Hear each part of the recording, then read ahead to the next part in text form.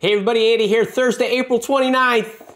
Great to be here with you. Live office hours, helping you build a career you love. Thank you for celebrating the holiday with me today.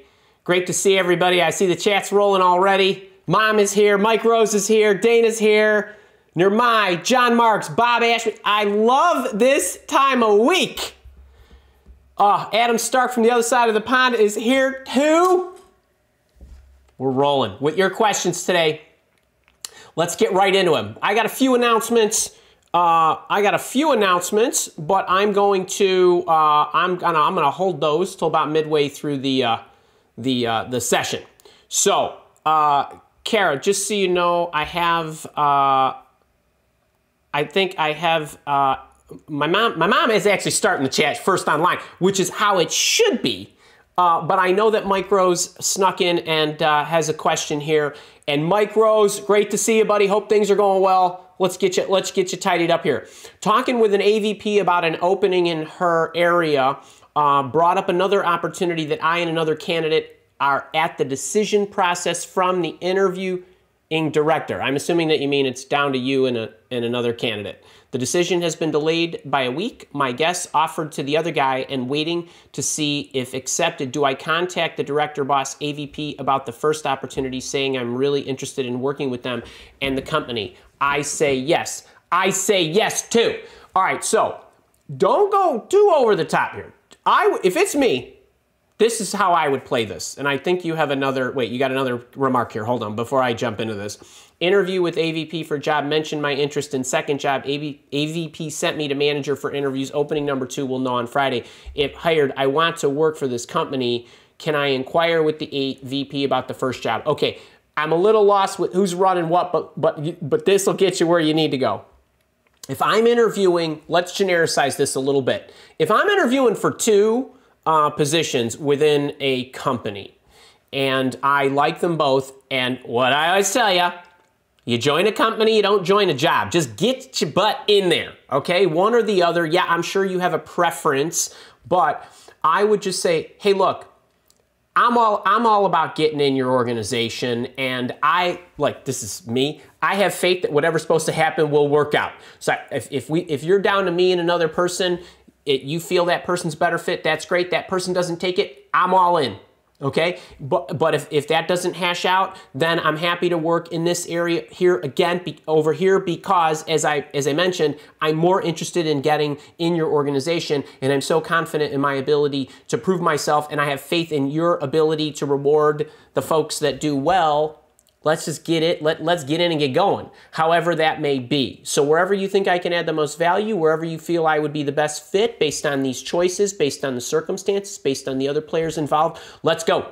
That's it. I wouldn't even, like, you may not feel that exactly, but that's what I would say exactly because that is at the end of the day what matters the most is you getting the opportunity. If you decide later a week two down the road that hey i really wanted that other opportunity. Now here again you might have other external factors. You might have other companies you're interviewing with and you might like those companies and roles better. Maybe you know maybe that just didn't come to fruition. My point is that's how i would say it. That's how i would approach it and i wouldn't keep checking in with them. I would just communicate that live. I would not send them an email. I would try to, to call them. And if, if, uh, if I was able to speak with them live, that's how I'd communicate it. If I actually uh, did, did, got the voicemail, uh, I probably would leave the voicemail. And I would try to keep the voicemail tight, but just say, hey, I wanted to catch up with you and, uh, directly, and I didn't want to email this because I really want to express my sentiment and make sure it's coming through clearly that I want to work for your organization in either capacity and so on. And you could, you know, you could let them hash it out. Mike, that's how I would go with that, buddy. I hope, uh, I hope that helps. Hope things in FLA are going well, and, uh, and and let me know how it turns out. All right, let's see. What do we got next? Did we go to is is was my mom next? Good morning, Andy. I'm here. Love and miss you. Love and miss you too, mom. I will. Uh, we'll see you soon. And uh, can I get a can I get a Heidi high from everybody? Are you guys feeling good these days? I, I, I just I'm just feeling great about about things. I'm feeling great about the job market. I'm feeling great about you know I, it's sort of sunny out. It was really kind of dark before. It was really raining, and now it's sunny. But generally, it's April, and this happens. So I just feel good. I feel good. And I love being here with you guys. If you love being here with me, make sure you subscribe to the channel. Make sure you give it a thumbs up. Share it. We got a whole hour or so of this stuff. All right. Yes, mom was next. Okay. Then I'm seeing, I guess I'm seeing Adam. Adam. Gar- wait, Gary McNeil, boot camper, Team Calgary. Great to have you. A lot of Canadian friends out there.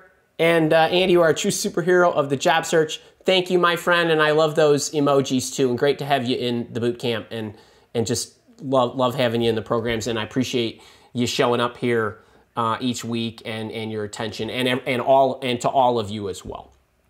All right, Adam Stark, great to see you. I am doing well, and Dana. Ah, oh, Dana, DFP 79. You're pro- Dana, I rode this morning and it was a measly hour ride, although it it was quite exhausting. It's because I was laddering up and down like crazy. Uh, but great to see you. Boot camper, good morning, Andy, Karen, Stacy, and everyone else. If you haven't joined the program, and she's talking about my job search coaching program, which you endearingly know as the boot camp, uh, do it. Do not wait. Andy's advice is direct and to the point, and he always answers your questions. I, I sure do. I go for 100% response rate uh, in, in my programs in, in the system. And, and I try to do it at the, at the premium coaching program, uh, coaching sessions too. Mm. All right, so appreciate that. And Danny, you know I love you, and I'm guessing you're sweating on the bike right now. All right, there's a job opening. A fellow alum works there. We are not connected. Did the boss hunting to the CEO, smaller company, didn't open. He didn't open it, or she didn't open it, I'm assuming. Should I email the alum or a LinkedIn message? And should I mention the job opening? So here's I'm gonna, I'm gonna I, I see you have another one, and then boss hunting CEO at a smaller company, auto response. Okay, wait. So I think that's okay. You got two questions. Let's let's answer one at a time. And uh, Dana, I, I, I am hoping that you are looking at the new version 1.0 of the boss hunting Bible that I sent you last this past week, a couple days ago, to you and the folks in the job search boot camp.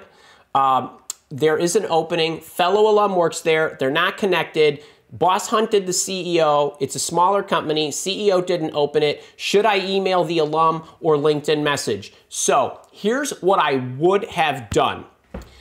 If I would have seen all of this and I hadn't taken step one yet, I would have gone to the alum and I would have used the message, uh, you know, such as, hey, so and so, I noticed you're an alum of blah, blah, and you also work at small company XYZ. The reason I'm reaching out to you is because uh, through my job search, I uh, discovered your organization and, and was wondering about applying there. And before I did that, um, I noticed you were working there, and I always like to get some insight from people who work there before I submit my application. Would you be willing to share uh, your experience or even just a, a kind of a, a quick hello with how you feel about your organization? That's it. That's the first thing I would have said. Then I would have waited. Why? Because I'm a super patient guy, right? Because I think in terms of hundreds of days, not one day. So I'd, I'd let your alumni, uh, um, alumnus get back to you. And then if the person gets back, you have a high probability that the person will respond. If the person responds, Dana, it's great. Thank you for reaching out. I do enjoy working here. I would say something such as, okay, then I think I'm going to apply. Um, I'm, I'm considering sending a message directly to the CEO. Do you know the CEO well? Second message. And then I wait. And then I get a I get an I get a message back. Yes, I know him very well. His name is Andy and he's a cool guy. No, I don't know him very well and so on, right? And then I determine what I want to do. I go back. Well, I'll tell you what. Do you think third third exchange? Do you think it would be better if I reached out to him or her directly or do you feel would you be comfortable uh, letting him know that we connected and passing along my resume? That is the that is like it's chess, baby. It ain't checkers. So that's what I would do there. Okay, now that's for everybody who hasn't started that yet. Now, for Dana, what I would do is I would go to the alum and I would say, um, hey, I'm, I'm considering applying at the organization. I saw that you worked there. Uh, I, I, I, reached out to your CEO, but I also wanted to reach out to you to get your perspective on. Don't say the CEO responded or didn't respond.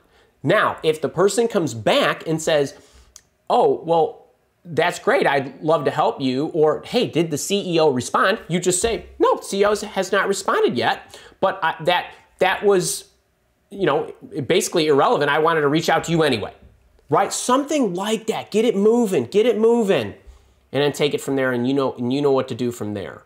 Okay, so that's a fantastic one. And then we got another one uh, as well from you, and then it says here, CEO, boss hunting, a CEO at a smaller company, auto response back, slow to respond, gave his EA con contact info. I'm assuming you meant you got an auto response that said, thank you for your email. I'm out of town or I'm so, so on and so forth. Uh, and then here is my executive administrator's contact info should you need something urgently. What should I do next? Wait for a response. I would give him or her or them some time and I would wait a week or two and then I would send them another email. And that's it, right? You know it went through because you got an autoresponder you don't know if they opened it yet or not. And here again, I'm I'm like Mr. Patient. I I just I I think long term, and then I go off on my my job search challenge, and I'm sending my messages out to other people, and then I'm seeing what happens. Now you could do something else. You know, I mean, you could follow up with the EA and just say, "Hey, I I I I wanted to respond to you to let you know I sent this. Do you have any insight?" Um, as to you know when he might be able to consider this or something like that. I don't I don't have a problem with you just bouncing back to the EA, but I probably would have just waited. I'd, I'd wait a week and let it go. I I just when I when I send anything out into the world, anything um, like an email to you guys or personal email to somebody where I'm sending it, you know, to one individual or whatever, I send it out and then I don't think about it ever again until they get back to me. I don't look at my email. I don't keep staring at my email. I don't keep worrying about it. I don't think about it because it's out. It's in God's hands now. Off it goes. I did what I could do. I crafted a good email. I wrote a good communication message to you, a good a teaching lesson, or a, or a, or a marketing message, or something like that. Alerted you to a show I have, or whatever. But that's how you got to think about that. Those are a couple of great, great questions and um, and uh, it's only 11:13. So I'm gonna I'm gonna hold off on some things I was gonna show you. But um, Stacy, can you do me a favor and take a note of these scenarios because I need to know if I need to add these to the Bible.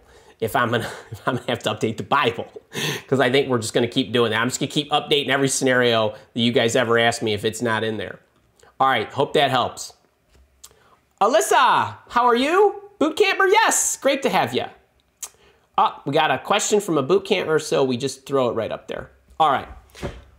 Okay, recruiter contacted me with a very good opportunity and we scheduled a touch base about it. Couple of hours later, a posting from the same company appeared on LinkedIn. What would be a better way to go?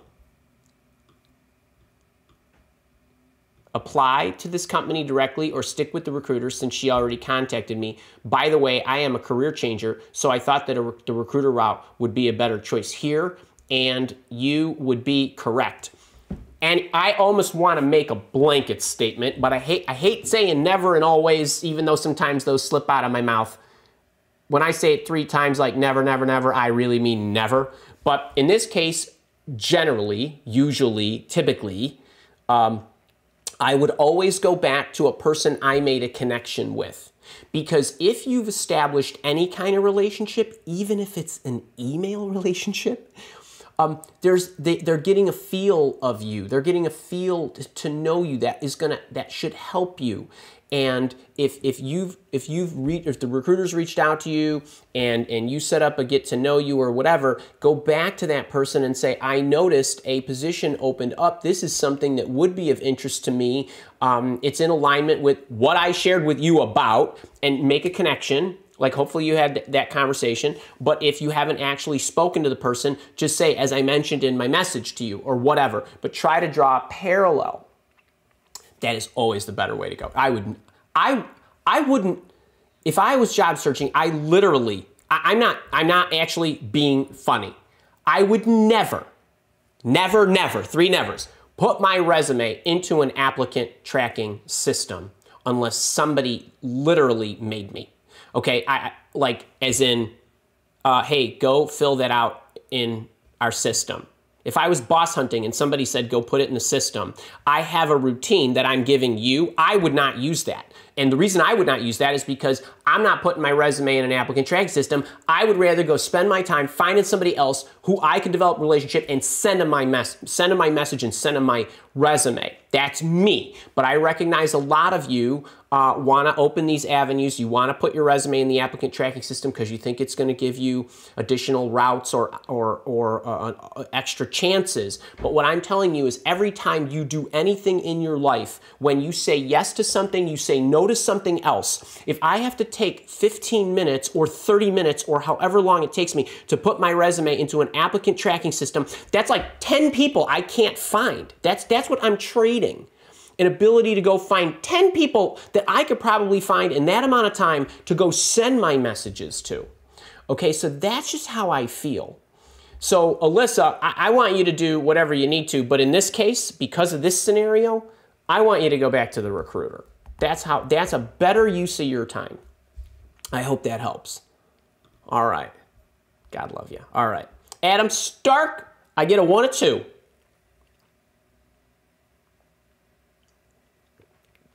Your life goal is a film director? I love it.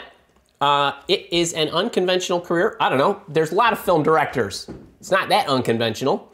My path over the next two to three years is to create short films on the side, one at a time, and get a secure job to live. Nothing wrong with that. New role will directly, indirectly lead to directing. Done discovery, requirements, research, got a few top potential careers. Having issues picking one as all tick my boxes. Any advice? If, uh, well, I, I, I do. Um, number one, this exact scenario where I'm not sure. Like, I'm not sure I have different options. I'm not sure I have different skill sets. Uh, I don't. I don't believe that you are in my job search coaching program, the the boot camp. But in the boot camp, we have a whole session on this question. A whole session on this question. Like 30, 40 minutes of nothing but this is how you figure that out by making sure that you are taking steps that are putting you in the right direction that you don't have to make the choice. You can keep moving because we don't usually get it until we get into it. And when we get into it, what happens? We have more data than when we were sitting at our desk planning it and thinking about it and running through matrices and requirements and these other things that I do want you to do but you have to go out and get data. If you are not sure, because a lot of them you would be comfortable with at the moment based on, I stress these words, based on what you know, which is very limited. So you could do a couple of different things for, for purposes of public consumption here uh, to, get, to get you some value on this. First thing that I would do is I would keep going until I had a separator, meaning something on this side of this option of let's say you got two or three options is going to trump it and supersede it and then I'm going to take my steps that way if it is clear. If it is not clear, I'm going to get in motion and I am going to start doing things that could be construed as common among the different paths. So like if I create my short films, if I decide that there's a detraction somewhere along the way, six months from now, a year from now, will creating my short films, or for any of you, insert whatever you're doing there, will that be beneficial in preparing me from a future for a future career, a future goal, or whatever? So it's like if I go this route and I ever get off the track, is all of this going to be isolated to this stream, this track? If it is, that you're increasing your risks substantially. Now, there's one school of thought that is, well, you don't need a plan B. Make plan A work. That's my school. Okay, that's the school I go to. But a lot of people don't like to do that.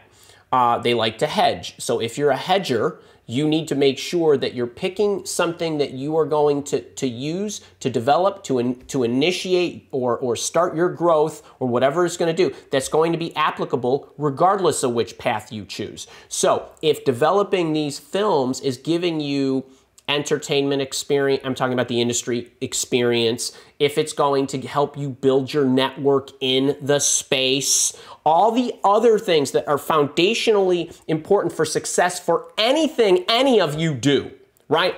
Skills and knowledge, people, my network, the education I get and in the experience that I'm deciding where I'm deciding to spend my time, I would not be spending it in school unless you are absolutely certain you want to go get a degree and then use that as your springboard. But I would rather have on the job training or something close to it, volunteer work or something where you're doing practical things. So I hope that helps.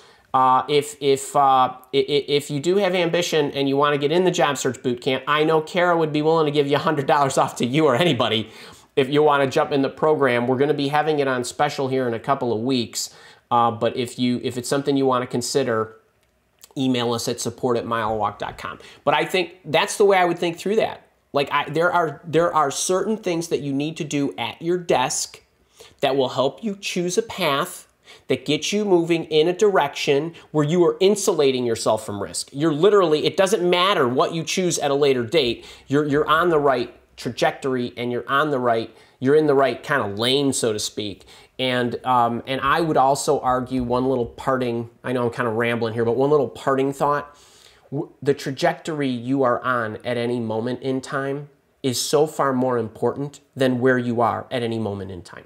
Okay? You're not a dot on a map. Okay? You're moving. All right? Are you moving in the right direction? Like, because I, I, don't I don't spend a lot of time thinking about, oh, you know, I, I live in the moment and I let my past guide me and I think about where, where I want to go in my future. And I think that all my present day actions need to do two things. They need to I need to enjoy what I'm doing, which I'm loving this at this moment, but this is positioning me for the future that I want.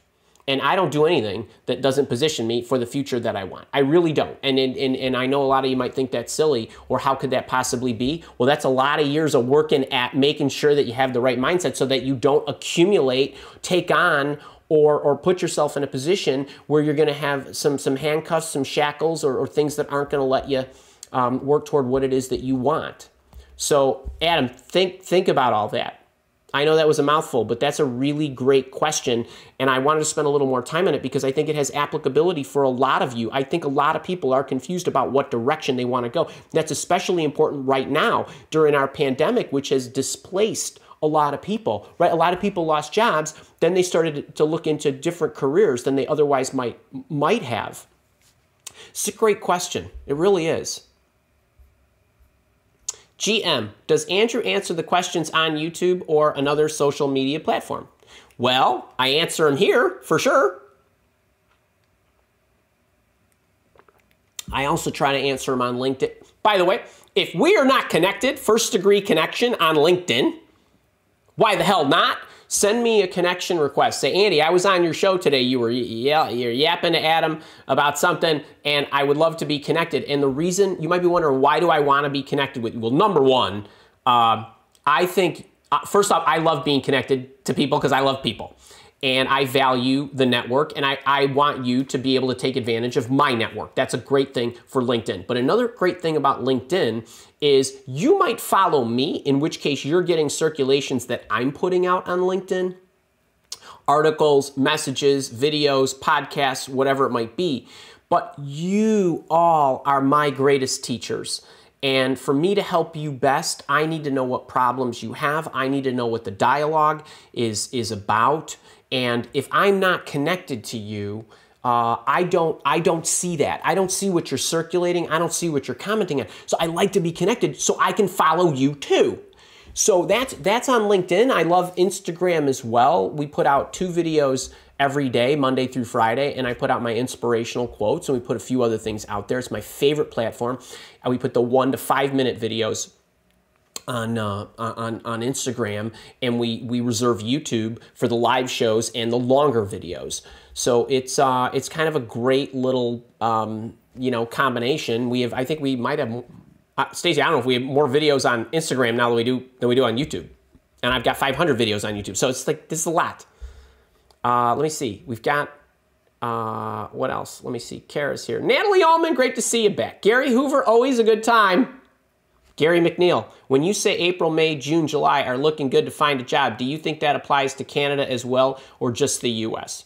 So let me say this. Uh, every, uh, every market sector, every demographic, every there's always little nuances of trends, right? It's like the stock market. You know, financial services might be going up, Manufacturing might be going sideways, automotive might be going this or that way, and there's a lot of connectivity, right? And so there's always that that that ripple effect, but there can be micro uh, trends as well. That goes for countries too. And while I uh, am in, in the US and have been my whole life, I've worked with a lot of people from different countries. We have over 100 countries that are in the job search coaching program alone and and I do a lot of coaching sessions with people in different countries. Uh, this you know last couple weeks I've hit just every I've hit every continent. Uh, sometimes I hit three continents in a day. Um, and I will tell you that the people that I'm interacting with in Canada are getting jobs. They're getting great jobs. So depending on what you do, or then it becomes well, wh where do you live? Where are you? Where are you targeting? Uh, what is your background? Right. So all that plays a part. But to answer your question, in general, I think the market right now is is healthy as far as the employment market is concerned. So the short answer is yes. The the long answer is you got to look at all those other things. And then if it's well, hey, I've got really good skills, I'm not getting a lot of interviews. Okay, well then, are, are, is you, how's your traction? Are you are you consistent day in day out? Are you sending your messages? All that good stuff. So then it becomes those other things. But in general, I would say yes. And and and what Gary's saying here too: April, May, June, July. When I, I you know, a couple days ago, we put out a clip from a live show I did a couple weeks even prior, and I was talking about August being a slower month this year. That has more to do with the fact that things are picking up now, but like this weekend, I'm going to get my second uh, uh, shot, my, my second COVID shot. And then, you know, kind of 15 days after, a couple weeks after, you know, they say, all right, well, then, you know, it's kind of settled into your body and, and, and you're, you're, you know, you've been vaccinated and obviously we don't want to be reckless, but you know, these things were feeling good. So people who like me who were reluctant to travel, I would now get on a plane. I'll do these things. So what happens in the summertime is uh, generally people take vacations anyway, but people haven't been taking vacations at the rate that they normally would because of the pandemic. I have not gotten on a plane since December of 2019. This might be one of the longest stretches of my life where I actually haven't traveled. And what I was saying in my marketing trends assessment is that, you know, things are picking up, people are getting vaccinated, uh, we're starting to relax some of the restrictions. Uh, and and what'll happen is um, August will roll around. A lot more people will be vaccinated. People will be more comfortable. Kids are going back to school. You know, August and September. There's going to be a lot of people out of the office because they're going to be traveling. I, that, I just I can tell that's going to happen and it won't happen everywhere, but it's going to happen in a lot of places. So I think August will slow down and September might bounce back up, right? Assuming things stay the way they are for the near future. So that's if if you guys are wondering, you know, where that came from, uh, check out the video I popped out. This one's a 45 minuter that I popped out on Tuesday. Um, let me see. Uh, Kara is telling me You know what? It's bottom of the hour, and uh, I want to I want to tell you I want to make a quick announcement. So we've got a job search mini camp. This is different than my job search boot camp. So my job search coaching program, the the boot camp, the collection of stuff is my signature program, and that's the one I said Kara will give you $100 off. That's a $600 program. You can get it for $500. There's a whole bunch of other stuff in it. That's kind of the big mega program. It's full on. You get everything's recorded. It's self-paced. You get online support. So when Dana said Andy answers all your questions, that's because I either answer them with the microphone or I answer them with my, my fingertips. And there's online support. And then there's live coaching support. And in the month of May, uh, we're getting together eight times with that group. So there's plenty of time for you to ask me questions. But also in May, I'm running my my annual greatest tips workshop. So four times a year, I run workshops. One is an interviewing workshop, one is a resume writing workshop, one is a job search challenge, it's a job searching workshop, and then I like to have one that's a catch-all where I talk about the different phases of the job search, like the resume, and then job searching and interviewing and salary negotiation, my greatest tips for the current year for each of those areas of your job search. It's free and you can watch it on my YouTube channel. But we also have a VIP pass that is a 47 bucks. It's the best 47 bucks you'll spend on your career in your life. And I just want to show you one thing that we that that we are doing. If you are in this the VIP pass in for the job search mini camp. So that's free and all of you can watch it for free. But if you are in my job search coaching program where you've paid the 500 bucks, you get these VIP this VIP pass or if you pay $47, you get this VIP pass. And part of the VIP program is you get to you get to watch the, the mini camp, that four-part workshop, with me in a private Zoom room. We'll have um, we'll have workbooks for you. We will have all the recordings for you, meaning after the, the shows are shot, I will deposit them into your training library and, and you'll have them forever, lifetime access to this. And then I've got some tools and some templates that you're also gonna get as a VIP. There's a few other things, but basically your $47 goes a long way. And so I wanna show you what it is that you're gonna get, and I wanna show you something that I've made available now. So for those of you that don't know what the what the online programs look like in the milewalk Academy. This is pretty typical. There's a structure, but this is the job search mini camp. I'm guessing that Kara has put the put the um, the link for you to register in the chat. And then what happens is we have a mobile app. You can get into the private community groups and all that good stuff. You also can have credit of your $47 should you decide at some later date that you want to upgrade your, your training library. But then what's going to happen is on May 11th, we're going to talk about the resume and it's going to be about how to write the perfect resume bullet. It's really good stuff. Uh, I've got the slides and all that. You'll get access to all of that. And then the Q&A session will be broken out and you'll have access to that. And then on May 13th, we're going to talk about job searching, but in particular, we're going to talk about boss hunting. And you've noticed I've gotten a couple of questions already about boss hunting, and I'm sure that there are a few more in the chat somewhere. Then we're going to talk about interviewing, and we're going to talk about salary negotiation. Maybe what I need to do is wear these shirts on this day because these, these thumbnails are just placeholders, but there's one placeholder I want to show you. So if you jump in to the to this program right now, uh, I have this new boss hunting Bible. You might have heard me referring to it uh, with Dana because people in my job search coaching program, the big the big program, already have access to this. But this is also available for anybody who's paid their forty-seven dollars. And basically, what you do is you just go in here and this boss hunting Bible, you guys might be familiar with my boss hunting templates, but I, you've never seen anything like this. Um, I, I, I, go through the approach. Uh, I, I talk about how to send these via email. Should you attach stuff? What subject line should you use? What if you find multiple people at the company and so on? and then there's some some do nots please do not uh, do that you know when should i quit and then i give you the templates i've tweaked these a little bit um, whether you know an open position exists and you found the boss or you just found a boss that you want to target and you don't and then there's going to be a bunch of responses they're going to say yes they're going to say, nope, that's Susie down the hall. They're going to say, nope, you got to talk to the recruiter. They're going to tell you to put it in the applicant tracking system because their corporate website says so. They're going to say, thanks, I'm not interested. They're going to say, how did you get my email address? They're going to be mean to you occasionally and they might not respond. I've written every single response that you, you could cut and paste and send.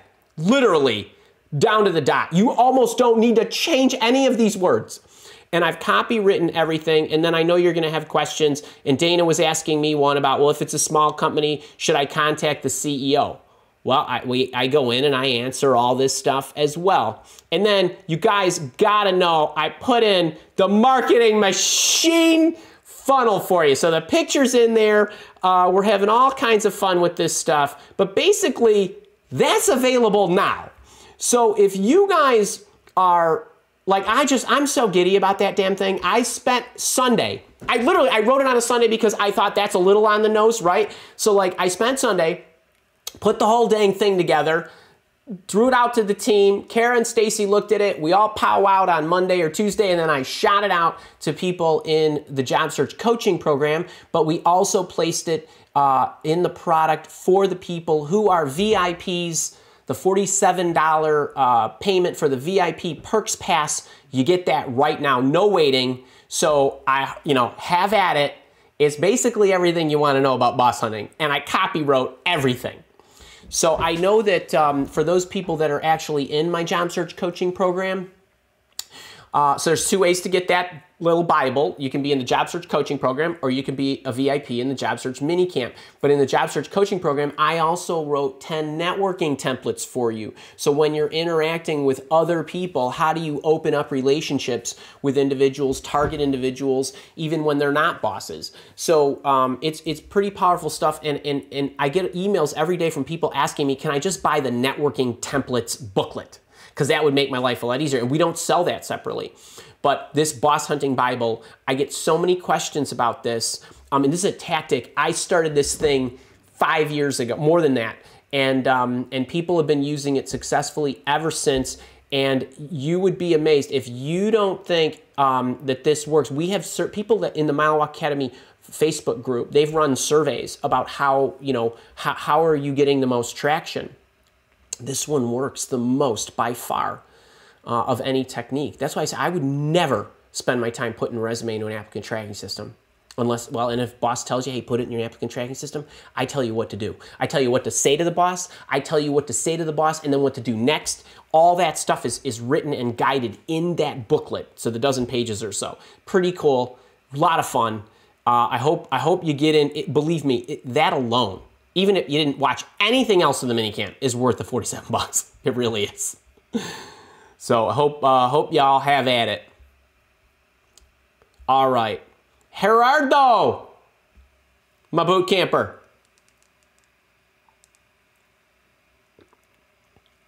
Okay, love this. All right, Mr. Gerard, Andy, I just got an email with a rejection. I am preparing your rejection email. Do you think it's appropriate? Uh, it is appropriate for one final call with the executive recruiter for more complete and elaborate feedback. I do. If and only if. If and only if. Right? Because every circumstance is different. If, I'm going to I'm going to run you through both of them. If I get into an interviewing process, I go through and I meet with a number of people Okay, so it's like, it's not like, hey, I screened you and we decided, Gerard, you're not the right person for us. I would not get into any elaborate discussion. If you had a second interview, I would not get into any elaborate discussion. If you've gone through the process and they say, Gerard, this is great, but we, we just we decided to pick somebody else, or we really wish you would have had a little more this or that, so we're gonna we're gonna pass. If you get down to the end like that and it is not clear why they passed, meaning they didn't overtly offer it or proactively offer it to you. I would send my uh, email rejection script. If you guys don't know what he's talking about, uh, I have a video on the YouTube channel about how to get the job after getting rejected or after being rejected. Just type LaCivita rejected in Google, it'll pop right up. Or Stacy could pop in chat.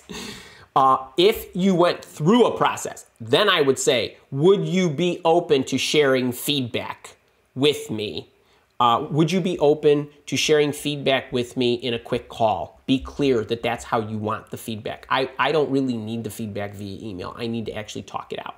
If now I also have a video on getting feedback. Stacy, can we give him the video on getting feedback?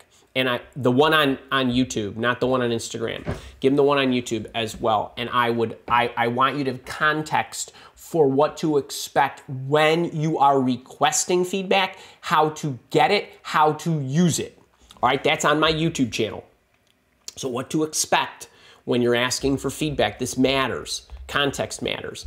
And if if you were if you did not go through this to the, the interview process the way I described, meaning you met with all those people, then you got down to the end. If it was shorter, I would not be asking. I would ask for the feedback very like e email me whatever you would like to offer use it take it with a grain of salt and that would be that right keep me in mind you know for anything else and so forth all right i hope that helps buddy donna morley hello there is an artful way to reply to an interview uh, oh is there an artful uh, way to reply to an interviewer who loads his questions with the phrase if it is not indiscreet to ask uh, this has happened uh, with queries into my financial medical realm. So, this is a very interesting question, Donna. I'm not sure what your situation is. Uh, if, if, if, if I have somebody who's asking, you know, loads the question, now you say loads his question with if it's not indiscreet to ask. That, that is, and those are irrelevant words it's what's the question? And then why is that important to you? So my response, my response is before I answer anything, say you can ask me anything you want. Um, and by the way, I don't really care what anybody asks me, but I appreciate that there are things that they should not be asking you. Use your discretion on whether you would like to share that stuff. Age, children, religion, you know, all the, all the stuff that they shouldn't really be asking you. But if if somebody asked me something regarding my financial or medical realm, I would say I'd like to understand before I answer. I'd like to understand why that's important to you. Uh, I don't. I don't. I don't believe you're in my leadership program. I have a leadership membership. It's a monthly uh, coaching program that we get together, and I talk about how to ascertain these kind of things from an individual. It applies to interviews. It applies to everything, and um, and and I'm always about I need to understand before I answer, or I need to understand before I influence, or I need to understand before I sell. I need to understand before I buy. I need to understand what anything. Why? Why is that important to you? That would be my response to somebody who said, if it is not indiscreet to ask, you can ask. Why is that important to you before I respond? That I would I would ask that. So that's my response. I would actually ask a clarifying question. You didn't, act, it's not, yeah, I understand the expression, well, you shouldn't answer a question with a question. It's not. I asked for a clarification so I could I could best respond to you and highlight what's important for you to know based on what it is you need to know and why you need to know it. Okay, so that's that's the way I would respond there, Donna. That's a, a really good one. A really good one. That would be my first response. And then I would determine, based on his or her why, whether I wanted and how I wanted to package what I wanted to package. And, and not knowing your financial or medical situation, um, because I would say something different to everybody. If I had a medical ailment and I was all cured, I'd say I was out for a medical ailment and all that is all taken care of and it's we're free and clear to go, right? Kind of thing. So you get you get my you get my meaning. Uh, Kara is telling me, oh Maureen, Scalantino, the Boss Hunting Bible is awesome. She's in my job search coaching program. Lots of great info that you can't get anywhere else, and the marketing funnel is gold. And Eric Anderson, man, I wish I wish I knew where these were in the chat. Everyone, just do it and get into the boot camp and get the resources, inspiration, good thoughts, and daily positivity to know this is only a temporary situation. It's not just me. It's the whole community. It's the whole framework. It's everything. It when I said, you know, the VIP Perks Pass is the best 47 bucks you'll ever spend, the the boot camp is the best 497 you'll ever spend. It really is. And I know I think the page has it for 597, which is what we sell it for on a on a daily basis, but if you're in my community and you come to the shows and you see me say this, I'm happy to give you 100 bucks off. The, you know the deadlines and the promotions that we have are to make it so that we we we get you in get you paying attention but if if you know if if that's an inconvenient date for you that's okay you just come to me when it's convenient for you. And I'll, I'll, uh, I mean, we don't do these things artificially. We do them so that we, because we, we have something going on, like a string of coaching sessions or things of that nature. So anyway, I hope you guys do jump in. Plug for the Boss Hunting Bible. Uh, when, uh, when Juan Mool emailed the team lead and referred my resume to HR, what should I reply? Well, that's in the Boss Hunting Bible. And that's the stuff I'm going over on May 13th. That's a great, a great, great question. All right. What do we got here? You Diddy Sid. Hey, Andy, I just had to quit my job a month back because of the toxic environment they had after serving for more than eight years, and that too after I got promoted this year. What should I do next? Well, I can't tell you what to do next. I would obviously start looking for a job. If you are thinking about a career change, I would go watch my Career Changer playlist. If you're thinking about a job search, uh, if you're in my coaching program, we give it to you A through Z in, in the order in which I lay it out for you. If you're not in the job search coaching program, you can stop by the job search mini camp. Or the other alternative is to go to YouTube and, and find the video about how to choose the right job. I would start there. That would be my very first step. For anybody who quits their job, gets let go, got fired, or anything like that the very first thing I would do, if you don't want to get into my job search bootcamp, is to go to my YouTube channel and find the video on how to choose the right job. And that is step number one. Step number one. Give it a go. Jim Arm, a boot camper. Hey, and Grace accepted a six month contract with a great company. Awesome. Thank you for all your help. Your videos have been invaluable. You are welcome. You know you are welcome, Grace Under Pressure. And these live office sessions have kept me motivated and cheerful. You are the jam. I love that. I appreciate that. I love showing up. Do you know I have not missed a Thursday all year long? Actually, it goes way back into this, into last year. But I'm I like to be Mr. Consistent. I really do. You all should be consistent. Consistency wins. All right, baby girl, my Instagram friend. You signed up for the mini boot camp. Awesome. I love that. I love that. Richard Van Warden, hey from Barcelona to you. You are a boot camper and was asked to update my profile, including experience of APIs, microservices, etc. I only have theoretical knowledge of this, so how far should I go in stretching, exaggerating my profile? Well, so first off, Richard, we don't use words like stretching, exaggerating, or anything that could be construed as borderline lying. I'm just teasing you. Um, I, I, this, let's talk mindset here for a second. Let's talk psychology. Let's talk about how people hear things, okay? First thing is, all of you, this happens, right? Talk about what you are, not what you're not. The best way to identify this, so you were asked to update your profile. Now, I don't know what that means when you say update your profile, your LinkedIn profile, your whatever. So somebody asked you, um, I don't I don't know why they asked you. Was it a, like a profile in their applicant tracking system? Whatever that would be helpful because I would tell you to do different things depending on what it is you're updating. But let's just regardless of that, I talk about what I am, not what I'm not. I have I have and when you say theoretical knowledge, you've either been trained, you've worked on it on your own, you have analogous expertise, meaning I haven't used this product before, but I used one just like it. You talk about what you are, okay? And then you elevate the concepts, whatever. Okay, so experience working with various blah, blah, blahs for APIs and microservices, whatever that is, and any tools you've used, right? Have, um, you know, working, you know, working knowledge if it is, um, have you know academic knowledge if it is, have self-study if it is, whatever. You talk about what you are. Then you talk about what you've done analogously, and then you talk about and, and if you're live and exchanging, you talk about what it is you do to get up to speed whenever you faced something that is new to you. Whenever I've encountered something new, here's what I do. Here's my plan. Here's what I do first, second, third, fourth, and so on. I'm organized.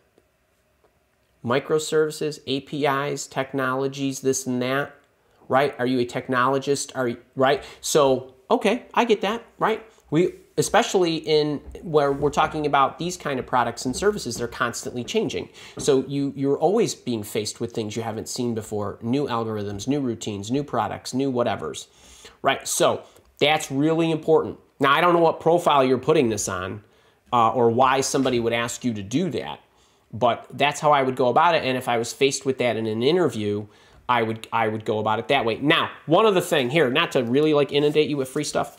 This book, Interview Intervention, it's sitting there behind my Out of Reach but in Sight book and right before the Hiring Prophecies book. But this book uh, we give it away for the book free.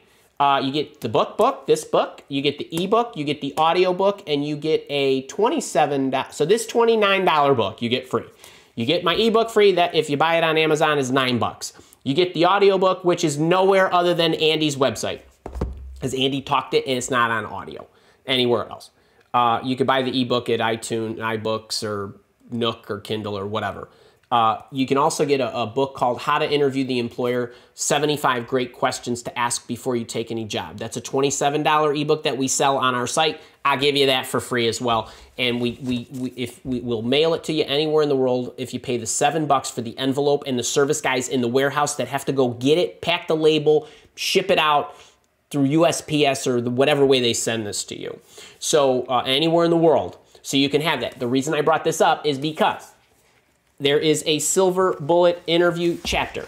And in the silver bullet interview chapter, on page 58, there is a question that is exactly what Richard needs uh, in order to answer something like this on his profile in an interview about how you educate yourself because that's ultimately the packaged response that you need whenever you are faced with something that you have not done yet or don't have a load of experience in.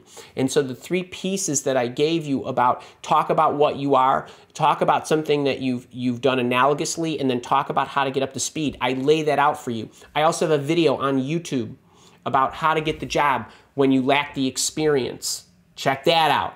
So I think we've squashed this one, my boot camper, and I will see you in May as well. Yvonne! Ah, my Southern Cal boot camper. Great to have you and my Instagram friend. John Marks, how do Andy and the rest of the LaCivita followers from Petaluma? Great to have you. Uh, was that? Yeah, I have Fire Protection Services interview next Thursday. Can we give John Marks a good live office hours hug, some juju, some high 10, whatever it is that we send to people when they go out into the interviewing world?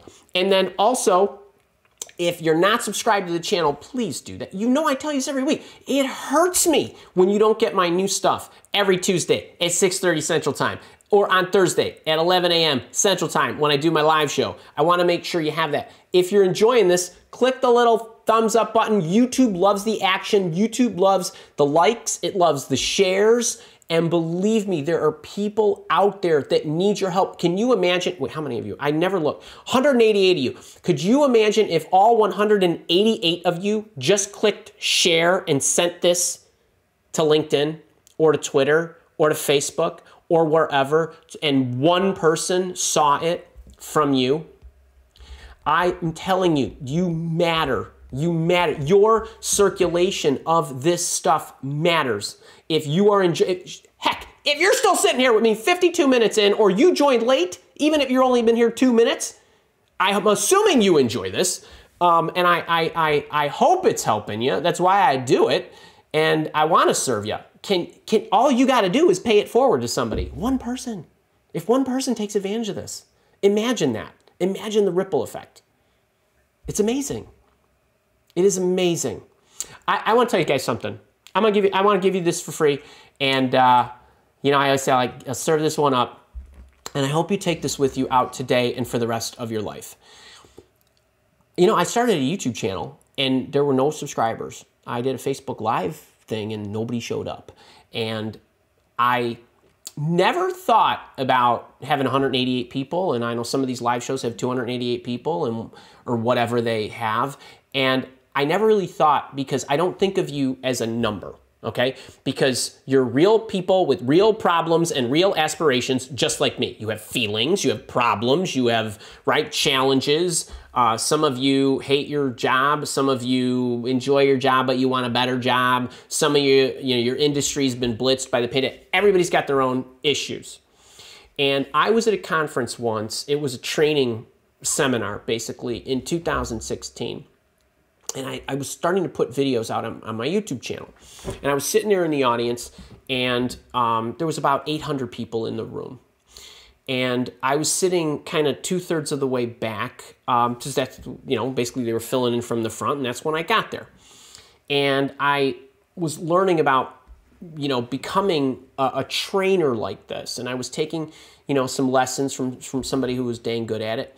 And um, there was a woman in the audience, and she said, you raise her hand, hand her the microphone, and uh, she said, you know, it's really uh, deflating when I put a YouTube video together and only 100 people watch it.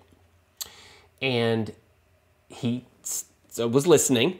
He jumps off the stage, walks down the stairs, goes out into the conference area, and walks down the center aisle.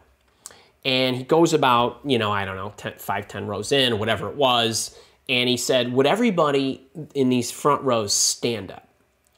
And they all stood up. And he looked at the woman and he said, That's what 100 people look that's what 100 people looks like. So if you guys don't think that sending it to your community of 100 people matters, I'm telling you it does. You, you cannot believe how much people's lives will change when you do these things. But if you think small, if you're afraid to start something because no one's watching it, you're, you're depriving this world. You really are. You really are. I'll never forget what that 100 people look like. I won't. Okay, th this one gets me a little choked up, but I'm telling you, it matters. It matters. You, you, need, you, need, you need to not think small, and you need to not be afraid to start small. Because if, if you're afraid to start small, you're listening to the you're listening to the wrong part of your ego. Okay? So do it. Do it. Don't worry about how you look. And share it and share your ideas share the stuff, share my stuff, share your stuff. The world needs it. They do. A 100 people. Believe me. All right, where was I? Clinton, TS, Deborah Chapman from Long Island. How are you?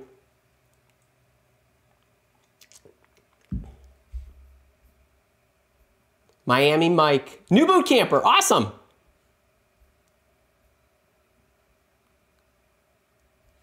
Deborah Chapman, nothing but success on all Andy's advice. The recruiters and waiting is killing me slowly. Deborah, hold on. I got. I want to say something about this. Um, the best way is to not feel as though you're waiting. Okay, I know you saw. Actually, I I don't know if you signed up for the. Maybe you signed up for the mini camp. I don't know if I I thought I saw your name come through. Um, you got to control what you can control and put yourself in motion. So remember before about half an hour ago, I said, um, you know, it, you know, I put out that email and then I never think about it. I want you to do that. I want you to do what I do things like that. It is very clinical. It's not.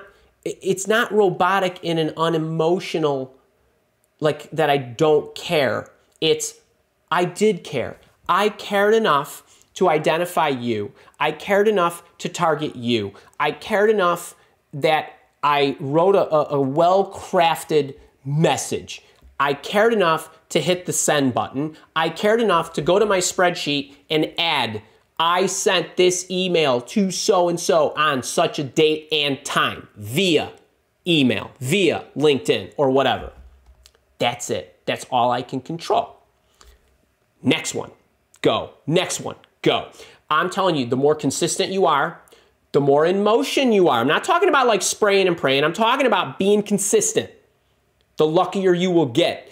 And the more you will not be worried about how long is it taking for somebody to get back to me.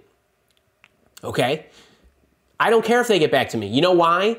Because I'm going to contact three more people today, or five, or 10. And tomorrow I'm gonna do the same thing.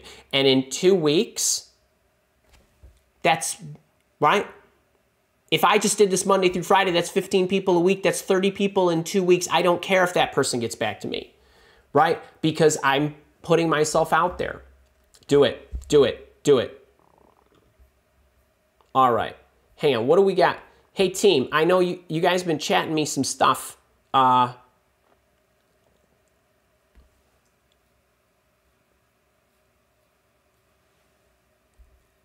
Okay, I want to answer a couple of these because they're really they're really good. Um, all right, Deborah Chapman, I'm, I'm back on you. Most large companies I apply to tell me they need the resume in the ATS to process my application to the position. Can't really get around the ATS even if I talk to the recruiter first. That is true. There's a legality to it. However, the way in which you get the resume into the ATS or the table you set for yourself before the resume goes into the ATS, the better off you are. Don't pay any attention to those sites that say we do not respond to anybody who does not send their application through our silly applicant trashing system. Don't pay any attention to that. You go target the bosses, you go target the recruiters, that's fine. If they say put it in the ATS, and Deborah Chapman, if you actually got in the minicamp, you do have the boss hunting Bible, and I give you the exact response to that. Okay, so so go do that. I, as a, an executive recruiter, so MileWalk, the exec, there's MileWalk, the executive search firm, and there's MileWalk Academy, of which all of you are part of, the online training and coaching programs. When you are, when we would present candidates to our clients, the hiring companies, we take the resume, we put the resume over to the hiring official, the COO, the chief whatever of this or that, or the head of talent acquisition, or whoever we're dealing with. And they would say, this is great. And then they would talk to the person, they'd interview, and they say, oh, by the way, we need to put your, we need to fill out the application. That's right. Okay, fine. So they'd go and they'd fill it in. It's the same kind of thing. I want you to have that mindset. That's fine. You can put it in. But if you talk to the recruiter, you already talked to the recruiter. That's all we care about. You pop it right in. And then Iman is asking, my boot camper, after application via ATS, can I contact random staffing recruiter via LinkedIn at the firm about it? I, first off, Iman, I would, okay, yes, you could use the Boss Hunting Bible because you have it. And yes, you have it on, it's on page 10. Okay, right. In the Boss Hunting Bible, which Iman has, is on page 10. But here's what I would do. Go to the, first off, go to the recruiter first. I'd rather you go to the boss. And why would I, okay, so let, let, let this is valuable here, okay? So so he's asking, can I go to the staffing or recruitment department via LinkedIn at that firm where I have already submitted my application? First thing is you want to go after a boss. Why? Because bosses are always looking to hire great people. They will always look at your resume. They might not have an open position, but if I look at your resume and I love you, I might trade somebody off my team and open up a position. Or I might have a position that I'm thinking about that the recruiting department doesn't know. Okay, that's the best. If you send it to the recruiter, that's that's not bad. Okay, that's not bad. It's better than the applicant tracking system. But if I'm the recruiter and Andy's team doesn't have an opening and you're you're sending it to me because you want to be on Andy's team, I might say, some recruiters will say, no, I know that guy's always looking. I'm going to look at this guy's resume. Or what most recruiters, corporate recruiters will do is they'll say, Iman, I, I can't even look at your email because I, I got all these other 10 Andys over here yelling at me because they don't have their people. So I got to focus on that. Okay, now, now that's the next best. If you go into the applicant tracking system, that's the worst. Even if you're a dead bullseye match, you have less than a 3% chance of even being seen, let alone getting given an interview. Imagine what the percentage is of people who initially who initiate their application through the applicant tracking system is. Imagine what those numbers look like. Okay? You have a better chance of being found by somebody while you're minding your own business on LinkedIn of getting your job that way, 8%, than you do of getting your job through the applicant tracking system. Now, Iman is asking, okay, well, I submitted it already. All right, and this is all I care about because you did what's done is done, right? You submitted it. And I'm telling you, if you submitted it, I would pretend like they never even saw it. And I would send my resume to the recruiter via email and say, I noticed you had this position. I'd like to submit my blah, blah, blah, use a cover letter. You could say, if you want, toss it in. I also, if you need more information on me, I did apply online through your applicant trashing system. Okay, that's how I would go there. Actually, that, that I structured this up for you if you have to do this because you know it's there. But yes, you can. You can go and target them.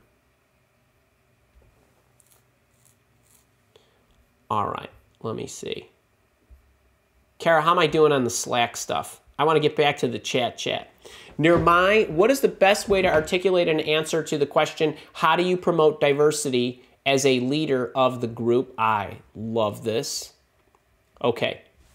So, leaders build more leaders, they don't build more followers. The best leaders figure out how to manage an entire team by maximizing the individual performances of the people on the team because everybody is incented, and I'm not talking about dollars and cents, but yeah, those two. Incented differently, motivated differently, cares about different stuff. There's two people on the team, and both of these people while they might be the senior analyst on the team, this one cares about career advancement and this one cares about work life balance. This one cares about more money and this one cares about title. Everybody's motivated differently, and that's okay. All right? So, when I talk about promoting diversity, I do a couple of things. As I'm looking to, there's now diversity could mean different things to different people. It could mean different uh, different nationalities, backgrounds, uh, and experiences and demographics, right? All different kinds of people that walk this, this earth. It could be diversity of ideas from different individuals on the team. All right. So, what I'm a proponent of, and I did this as I would build teams as a consultant, I managed very large groups.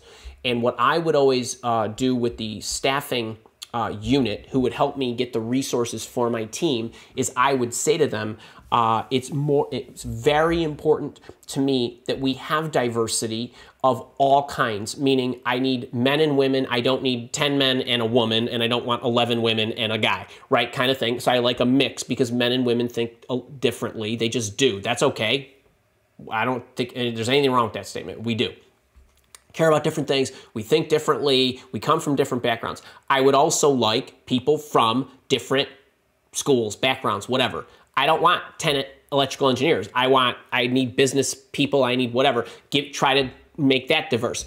Also, if we have um, minorities, different cultures, other, other uh, individuals where we can create a very eclectic group Uh, I don't care that each of them is motivated by different things because as the leader, it's my job to actually engage with the individual, understand what the individual's motivations, interests are, and so forth, and then manage them individually through a series of processes that's put together. Everybody has the protocols that they need to operate within Except that from a motivation standpoint, you need to treat each of them individually, interact with them individually to understand how to elevate their game because when they're all maximizing their performance, the team is going to be even greater.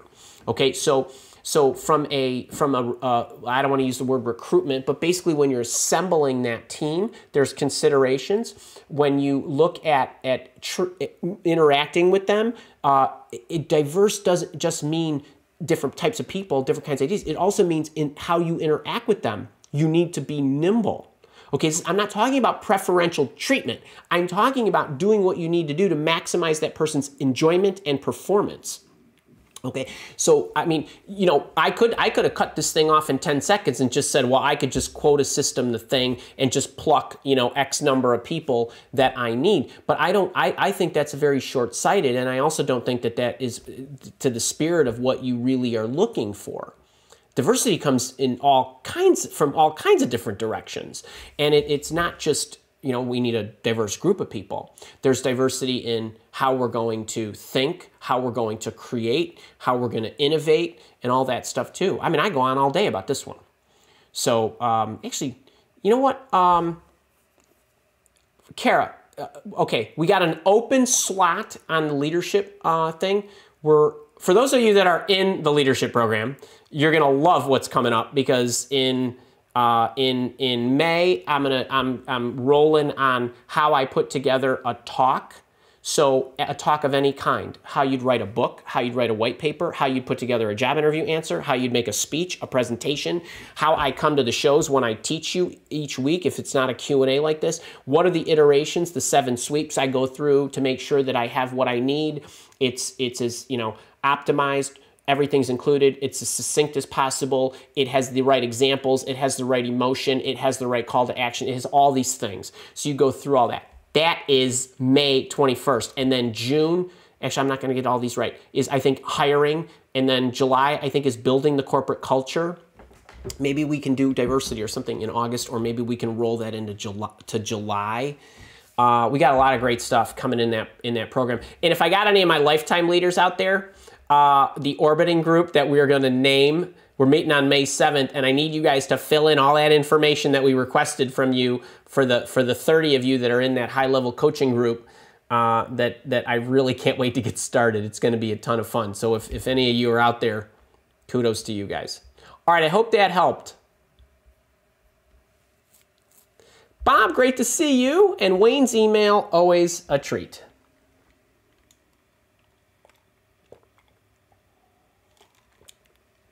Uh, Wayne, I'm not sure what you're asking uh, specifically. I mean, I understand work from home versus in office. What's the best way to handle the work from home versus office when companies are still trying to figure out how they will go forward? What I don't know is what is it that you want to happen? Uh, so this is an interesting thing. You, you always want to obviously determine your tactic based on what your goal is. If my goal is I would like a work from home uh, opportunity, I'd tell you to do one thing. If your goal is to get a job with a great company, I would tell you to handle it differently. So I, I wish I wish I could I wish I, I mean, I, I would have to go through all the scenarios of what I would tell you here. But ultimately, if you are open, then I would jump on the fact as I was communicating in the screen. I am happy to work in any kind of environment in whatever format, whether that's at home, in the office, or a blend.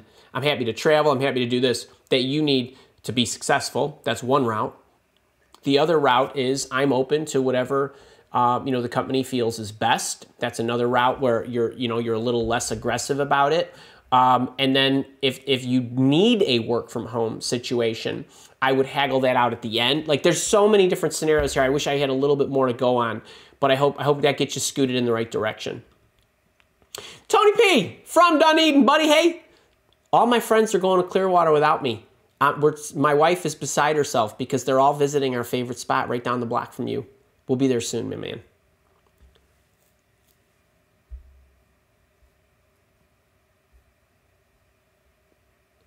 Um, here we go. Here's something that um, Nirmai How to Get Andy's ebook, Ace Your Job Interview.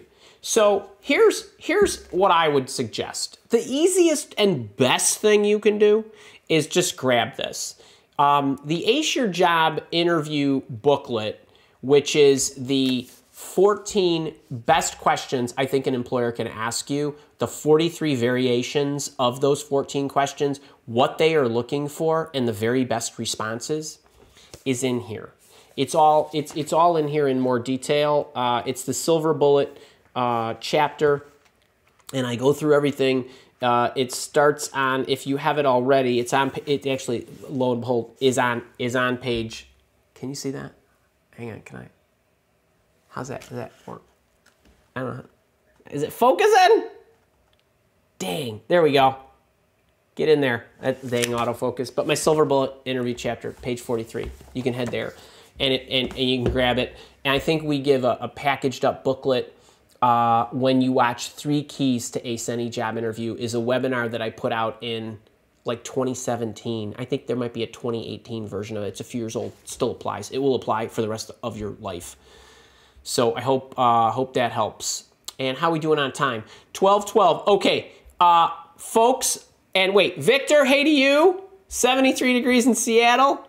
Emir, Robert Peterson, Faith, hey to you. Vanessa, Uzoma, Scott, my boot campers. Oh my God, Tom Phillips, look at you guys. I never get down here, uh, but I, I got to get running. But remember, folks, the Boss Hunting Bible is so awesome. Uh, if you are signed up for the mini camp, let me see if I got this. Here we go. The Boss Hunting Bible has got everything you need to know about boss hunting. So it's not just those free templates that I give you out on the internets that you can get. All your questions answered, what to say, all the responses, the things we went through. This is for either folks in the job search coaching program, the boot known as the boot camp, or uh, folks that are in the in the VIP members, and all of that stuff is available right now. So sign up for the mini camp. If you're not sure you want to be a VIP, that's okay. You still come and watch it free on my YouTube channel. Uh, we got slides for everything. It's very detailed. I'm going like, I mean, we're taking a dive. It's it's It's really, really good. But VIPs will have workbooks, you'll have the slides, you'll have the Bible, and you got the packaged in the system for you it, for 47 bucks. It's it's a great, great deal. It really is. I hope you join me. And if you do want to get to, to jump into the job search coaching program, the boot camp, as we call it, we will give you $100 off if you email us at support at milewalk.com. And Kara will take care of you, and she's she's on that stuff. Uh, believe me, she wants to get you in the program. I want to get you in the program and support you. We obviously have to collect a little money, otherwise we don't even get to do these things for free or, or on a premium basis. So you guys, as always, great 75 minutes. For the 175 of you that are still here, God love you guys. One person, one simple share. You know I cried for you guys today. Come on. You gotta, you gotta help others. You gotta. I know it. I know you're, you're, we're all worried about ourselves, but it just feels great to help somebody. It really does. And you just don't know. Your thoughts and words and actions echo in places you will never visit. But I'm telling you, good stuff happens when you do good things. All right. You guys be good. I got to get out of here. I'll see you. See you next week.